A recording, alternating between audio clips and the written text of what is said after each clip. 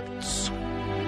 If my memory serves me correctly, in France there is a saying that goes like this Eat the meat of the carrots. Here, meat means the portion around the core. So if you truly want to enjoy carrots, as the saying goes, eat only the outer part. The core is there to absorb nutrients from the soil, and it distributes all the nutrients into the surrounding meat, where they accumulate. Oh, look, just trust me. Eat the meat of the carrots.